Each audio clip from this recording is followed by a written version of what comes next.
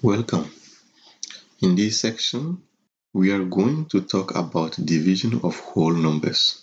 Here, the general question is how many times a number A goes into a number B, or how many a given number A are into a given B.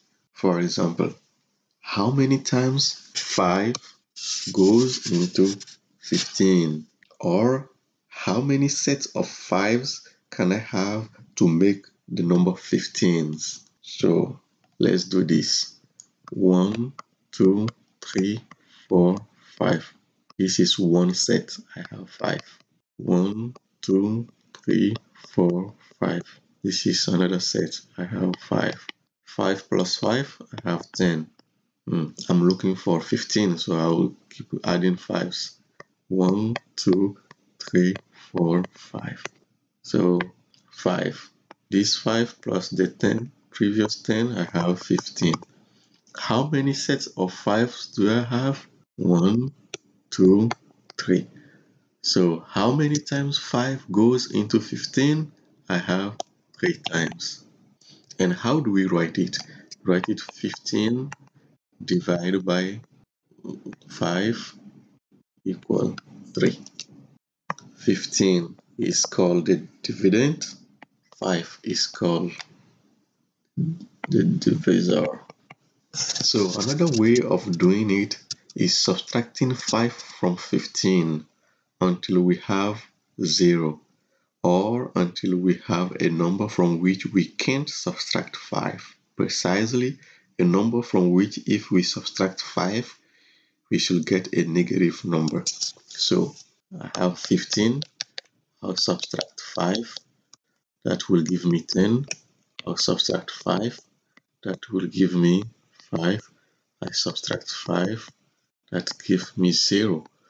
Mm, I can stop here, or if you want, you can do minus 5, and you will see that the number you will get will give you a negative number, so it's not even necessary to do this process. Once you find 0, you should stop. Now, how many times have we done the subtraction? One, two, three times. So our answer is 3. 15 divided by 5 is 3. Another example, let's do 7 divided by 3. So other ways, how many times do we have 3 in 7? So let's count. One, two, three. One, two, three. Three plus three, I have six. Can I have another set of three? No. Or the only thing left is one. So this is one. Six plus one seven. So in seven, I have two threes and the remainder is 1. Let me rewrite it here.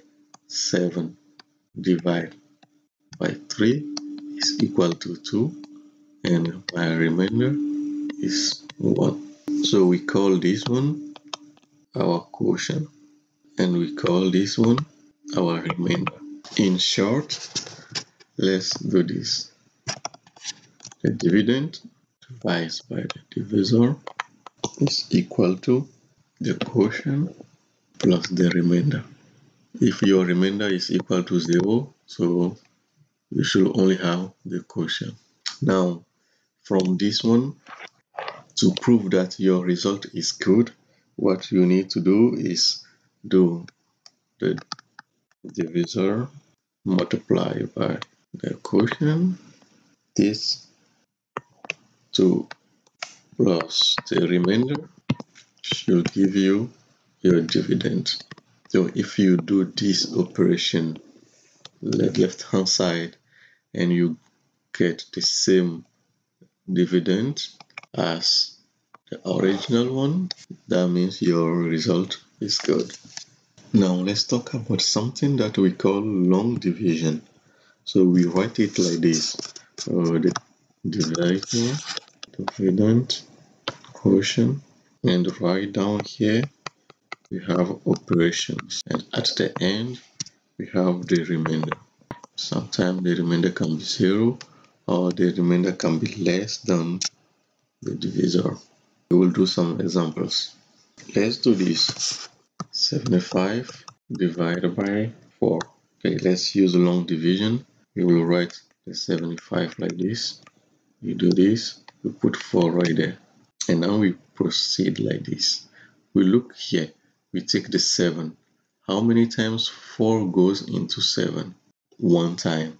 I put 1 on top right here.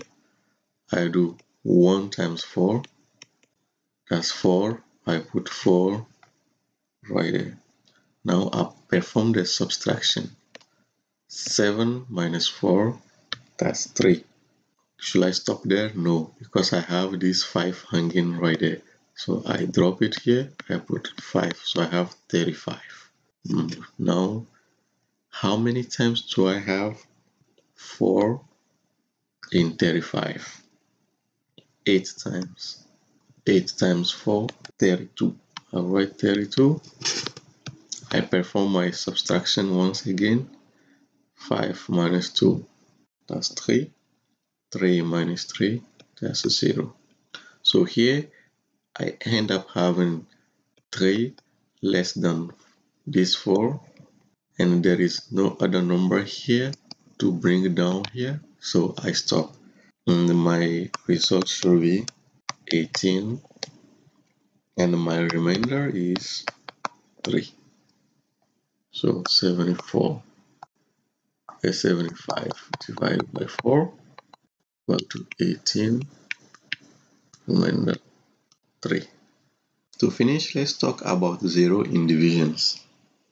0 divided by any number different from 0 equal to 0 so 0 divided by any number different from 0 equal to 0 so 0 divided by 3 is 0 0 divided by 1000 equal to 0 0 divided by any number x. X mean anything can go over there. That should give me 0 but on the other hand we cannot divide a number by 0 so any number divided by 0 is undefined so if I write 3 divided by 0 this is undefined. 21 divided by 0 undefined. So any number x divided by 0 is undefined. We call x a variable. That means we can put any number over there. Now solve this by yourself.